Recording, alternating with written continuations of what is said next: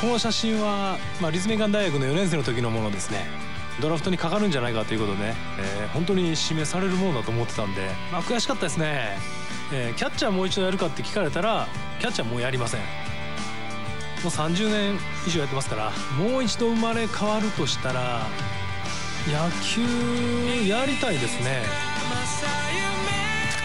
昨日の瞬間は明日に続いている。富士フイルム。写真今日につながってる、まあ、昔の本当に宝物みたいなみんなで写ってることがすごい多いんで、まあ、いつもニコニコしてたんですけど上の2人には絶対負けないっていつも思ってましたね。昨日の瞬間は明日に続いている。富士フイルム